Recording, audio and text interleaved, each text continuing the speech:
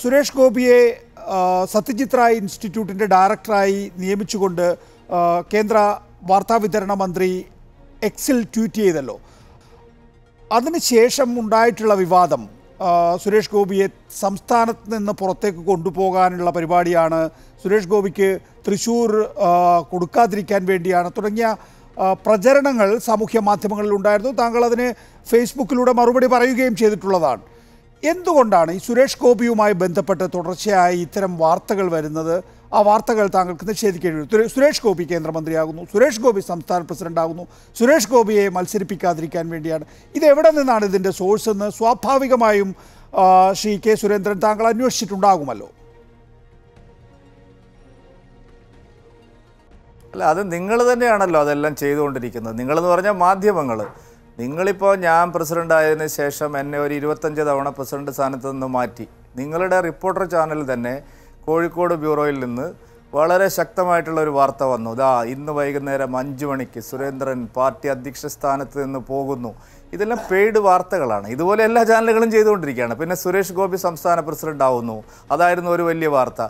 പിന്നെ വേറെ ഇതുപോലത്തെ നിരവധി വാർത്തകൾ വരുന്നു. വി മുരളീധരൻ സംസ്ഥാന കേന്ദ്ര മന്ത്രിസ്ഥാനം ഉപേക്ഷിച്ച് ബി ജെ പി സംസ്ഥാന പ്രസിഡന്റ് ആവുന്നു. ഇങ്ങനെയൊക്കെയുള്ള വലിയ വലിയ തോതിലുള്ള കള്ളപ്രചാരണങ്ങൾ നടന്നുകൊണ്ടിരിക്കുകയാണ്. ഞാനിപ്പോൾ ഒരു കാര്യം നികേഷെ പറയാം. ഇതിനകത്ത് മാധ്യമങ്ങൾ പരത്തിയ ഒരു ഊഹോബോഹം ഒരു നിമിഷം കൊണ്ട് ദൂരീകരിക്കാമായിരുന്ന ഒരു സംശയം. പ്രത്യേകിച്ച് അങ്ങേപ്പോലുള്ള ഒരു മുതിർന്ന മാധ്യമ പ്രവർത്തകന് ഒരു നിമിഷം പോലും വേണ്ട. കാരണം Satyajit Ray film and television ഇൻസ്റ്റിറ്റ്യൂട്ടിന്റെ അധ്യക്ഷ സ്ഥാനത്തിരിക്കുന്ന ഒരാൾക്ക് തിരഞ്ഞെടുപ്പിൽ മത്സരിക്കാൻ സാധിക്കുമോ ഇല്ലയോ എന്നുള്ള കാര്യം അരനിമിഷം കൊണ്ട് നമുക്ക് ക്ലാരിറ്റി വരുത്താവുന്നതേ ഉള്ളൂ പക്ഷേ അത് ഒരു ദിവസം മുഴുവൻ നിങ്ങളെല്ലാവരും ചേർന്ന് ഒരു പുകമറ സൃഷ്ടിച്ച് സുരേഷ് ഗോപിയെ തൃശ്ശൂരിൽ നിന്ന് ഓടിക്കാനാണ്. എന്തൊക്കെ വ്യാജ ഒരു ഭാഗത്ത് നിങ്ങൾ തന്നെ പറയുന്നു അമിത്ഷാ തന്നെ വന്ന് പിന്നെ അനൗപചാരികമായ പ്രഖ്യാപനം നടത്തി പിന്നെ സുരേഷ് ഗോപി തൃശ്ശൂരിൽ തന്നെ ആയിരിക്കും. അതേ നാവ് കൊണ്ട് തന്നെ നിങ്ങൾ പറയുകയാണ് സുരേഷ് ഗോപിയെ തൃശ്ശൂരിൽ നിന്ന് ഓടിക്കുകയാണ്. അമിത്ഷായും മോദിയും തീരുമാനിച്ച് മത്സരിപ്പിക്കണമെന്ന് വിചാരിച്ച ഒരാളെ സുരേന്ദ്രനും മുരളീധരനും ചേർന്ന് ഓടിക്കുന്നു എന്ന് നിങ്ങൾ പറയുന്നു. അത് അതിനർത്ഥം അതിന് എത്രമാത്രം വലിയ പൊള്ളത്തരമാണ് നിങ്ങൾ പറഞ്ഞുകൊണ്ടിരിക്കുന്നത് എന്നുള്ളതാണ് എനിക്ക് മനസ്സിലാവാത്തത്. അതുകൊണ്ട് ഈ കാര്യത്തിൽ ഒരു ആത്മപരിശോധന മാധ്യമങ്ങളാണ് നടത്തേണ്ടത്. തീർച്ചയായും. മാധ്യമങ്ങൾ എന്നുള്ള നിലയിൽ ആത്മപരിശോധന നടത്തേണ്ടതുണ്ടെങ്കിൽ നടത്താം. സുരേന്ദ്രൻ. അതൊക്കെ തുറന്ന മനസ്സോടുകൂടി തന്നെയാണ് ആ കാര്യങ്ങളെയൊക്കെ നോക്കിക്കാണുന്നത്. പക്ഷേ ഇവിടെ സുരേഷ് ഗോപിക്കും അതേ തരത്തിലുള്ള ആത്മപരിശോധന നടത്തേണ്ട വിഷയം ഉണ്ടല്ലോ ഇതാണ് ശരിയെങ്കിൽ. കാരണം സുരേഷ് ഗോപിക്ക് ഈ പറഞ്ഞ പോലെ ഒരു ട്വീറ്റ് മതി അല്ലെങ്കിൽ ഒരു സാമൂഹ്യ മാധ്യമ പോസ്റ്റ് മതി. വേണ്ട അദ്ദേഹം പുറത്തേക്ക് ഇറങ്ങിയല്ലോ. മാധ്യമങ്ങൾ കണ്ടല്ലോ. അദ്ദേഹത്തോട് മൈക്ക് നീട്ടിയല്ലോ. അദ്ദേഹത്തിന് പറയാമല്ലോ നിങ്ങൾ കാണിക്കുന്നത് മഹാവഞ്ചനയാണ്. ഞാൻ സത്യജിത് റായ് ഇൻസ്റ്റിറ്റ്യൂട്ടിന്റെ ഡയറക്ടർ സ്ഥാനം ഏറ്റെടുക്കാൻ തയ്യാറാവുകയാണ്. പാർട്ടി പറഞ്ഞാൽ ഞാൻ അത് ഏറ്റെടുക്കും.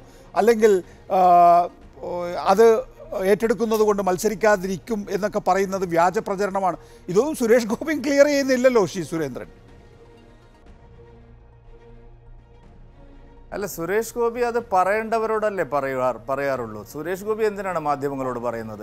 കാരണം പറയേണ്ടവരോട് പറയുന്ന ആളാണ് സുരേഷ് ഗോപി. സുരേഷ് ഗോപിക്ക് പാർട്ടിക്കകത്ത് പറയാൻ അറിയാവുന്ന ആളാണ്. പാർട്ടിക്കകത്ത് അദ്ദേഹത്തിന് അത് പറയാനുള്ള ബന്ധങ്ങളുണ്ട്. അത് സംസ്ഥാനത്തായാലും കേന്ദ്രത്തായാലും കേന്ദ്രത്തിലായാലും അദ്ദേഹം തെരഞ്ഞെടുപ്പിൽ മത്സരിക്കണോ? അദ്ദേഹം തെരഞ്ഞെടുപ്പിൽ മത്സരിച്ച കഥയൊക്കെ നിങ്ങൾക്കറിയാത്തത് കൊണ്ടാണ്. അദ്ദേഹം എല്ലാ കാലത്തും തെരഞ്ഞെടുപ്പിൽ മത്സരിച്ചത് സ്വമേധയാ അദ്ദേഹം ഇറങ്ങി വന്ന് മത്സരിച്ചതല്ല. പാർട്ടി അദ്ദേഹത്തോട് ആവശ്യപ്പെട്ടത് കൊണ്ടാണ്. ഉന്നതരായിട്ടുള്ള പാർട്ടി നേതാക്കളുമായിട്ട് ബന്ധപ്പെട്ടതിന് ശേഷമാണ്.